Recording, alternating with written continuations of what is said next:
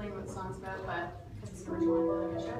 Um, it's just about being like, I don't want to say in love, but like in like with someone.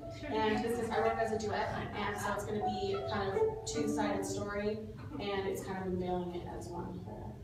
Okay. And in peace, in life, I'm not saying in love. In life. Is Galen the person? It's, it's Galen, so I got him to sing it